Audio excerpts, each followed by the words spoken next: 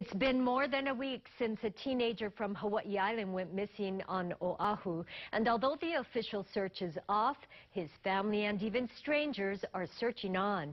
18-year-old Dalen Mokepua was trying to reach the forbidden hike known as Stairway to Heaven.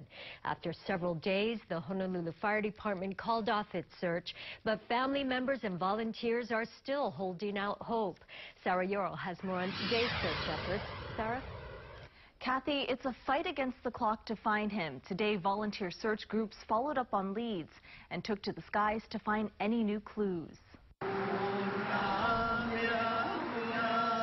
Volunteers gathered in Kaneohe on Saturday hoping to find 18-year-old Dalen Mokepua.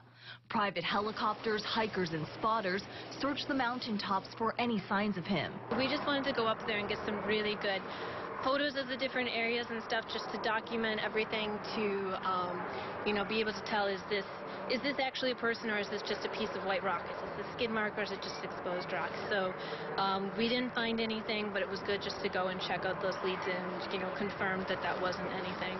Family members and volunteers believe Dalen entered through this gate and hiked through the rough terrain to reach the Haiku stairs, rather than entering through the Kaneohe side. Throughout the day, people brought food and water for the family and volunteers stationed in Moanalua Valley. Even complete strangers found themselves getting involved. When you're a father, you feel another father's heart, I think.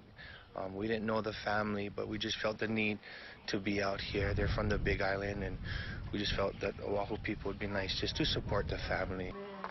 It's been really hard on our family. Boki, you know, you got all the love and the support from your family from here in Oahu, all over the world, and back home. So come home, Moki. We are waiting for you.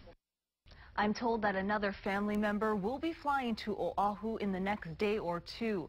The family tells me they are thankful for the outpouring of love and support from the community.